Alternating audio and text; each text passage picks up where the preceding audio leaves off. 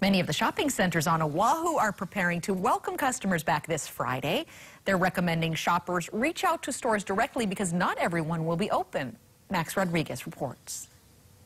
Each retail location inside will open up as they see fit, but the general managers at these shopping plazas say they are doing what they can to make this a smooth reopening. Food takeout, drugstores, and food markets have remained open at shopping centers. But on Friday, all other shops will be allowed to open. At the Pearlridge Center, the number of those who will open is still to be determined.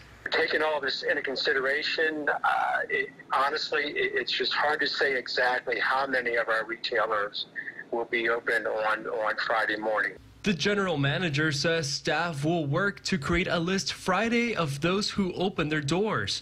It's a similar situation at other shopping centers preparing for Friday.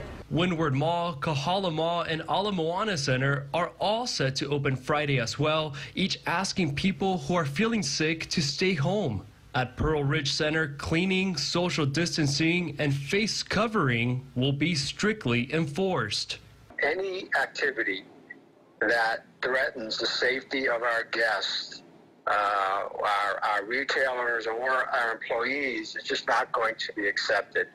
Um, guests who do not act responsibly, responsibly may be asked to leave. And a couple of clothing shop owners tell me to expect a different shopping experience. They are limiting the number of people inside their stores by their square footage, and they say fitting rooms will remain closed. Max Rodriguez, KHON2 News, working for Hawaii.